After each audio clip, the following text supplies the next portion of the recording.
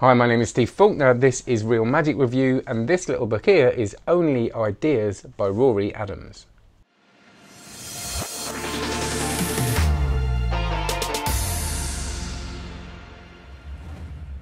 So please like and subscribe, hit the bell icon. You are watching the internet's finest independent review channel, uh, but I am obviously very, very biased. But, uh, but, but if you really like it, please like and subscribe. Please share it if, if you know people that might like it. And please go and check out cardmagiccourse.com, which is my huge library of card magic video tutorial course. Uh, and it's still being built, still being added to. And as I say all the time, I'm incredibly proud of it. And it's a great way to support the channel because it looks like I'm doing this channel more and more and more.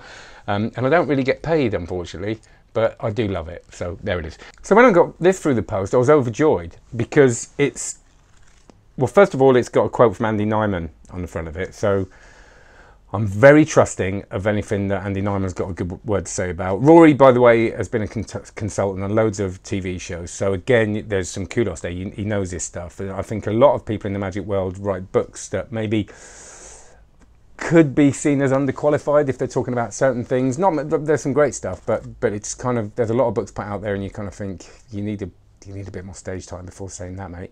Uh, but Rory knows his stuff. Andy knows his stuff. The people on the back, Justin Flom, Franco Pascali, uh, Chris Ramsey, kind of know their stuff. So we're in good we're in good hands, I think. But the real joy was great. It's a book I'm actually going to be able to read because it's not that big and it's not going to take me ages. Um, but that's a shallow reason to like a book. The good reason to like the book is that it's full of gold.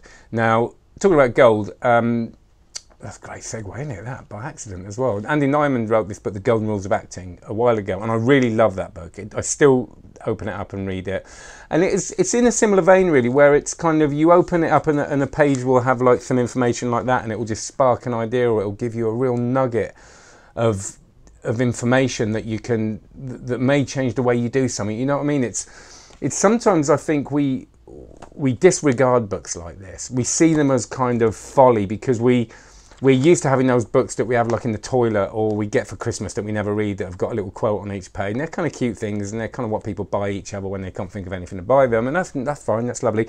But it, it would be easy to buy this, take it home and not really take it seriously.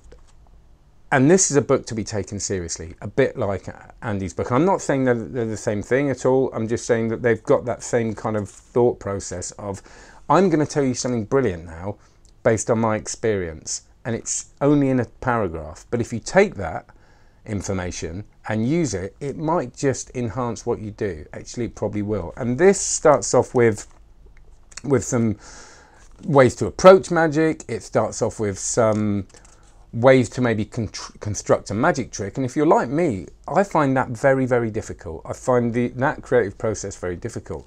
But I also believe that if you focus on it, you can do it. I don't think you have to be a creative person to be able to create. I think you just have to have faith and spend the time on it. And like I said, it's not. It's uh, it's more perspiration and inspiration and all that kind of stuff. And but the inspiration is very important. This will give you the inspiration. It kind of tells you why certain things work in, in a roundabout way. It sort of tells you why certain things don't work. It, it says, well, maybe you you could start looking outside magic. So it does this lovely thing of saying, yeah, look outside magic, stop watching magic. And then it says, well, maybe watch some magic, but understand that a lot of it is, I think it says, it says something like, I've watched magic, but, not, but only from more than 10 years ago.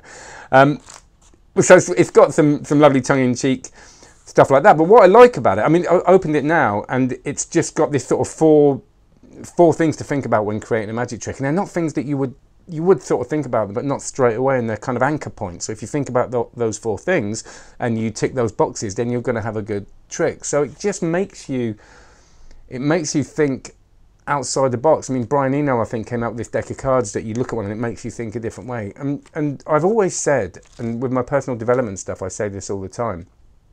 Inspiration is so important. I lit, I wouldn't be in front of this camera now doing this if it wasn't but for the fact I've been inspired by someone. So I remember my note friend Noel Qualter so you know you should do reviews and I said I always wanted to do that and just that little conversation sparked this whole thing which arguably is, well no not arguably has completely changed my life because this is now a big focal point of my life and it brings me so much joy uh, so you know that is from one person saying one thing so opening this and that saying that if we're open to it and we, we, we go into it with an open mind, might create an idea. And that's what this exists for. When we get later on in the book, it starts actually giving you genu- like specific ideas, like do this. And that's a massive gift, isn't it?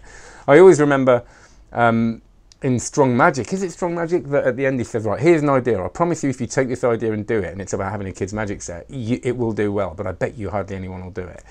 And that sums this up really. So this thing of people not using the information is usually because people look for a complex answer to a complex problem. So we see the creation of a magic trick as a complex thing, but actually, if we approach it a certain way, it can actually be a very simple process. And because of the way we're wired, we think, no, no, because if, if, if we create a magic trick that's really good, that's got a profound effect. So surely the process has to be really, really difficult. And, and we match it like that. And the minute we don't match it, and we go, actually, we could just have a spark of inspiration and create something that will be life changing. If we believe that and have faith in that, and, and I've, uh, I've seen it many, many times, then books like this come into their own. So listen, you know, I know I'm very gushy about this, but this person has put some gold into this book, as Andy did with his acting book, that can save you years and months of pain. And I'm really glad it's out, and I'm really glad I've got it. So there it is Only Ideas by Rory Adams have a look at it. It's not going to cost you loads. I'll put the prices and the links down below.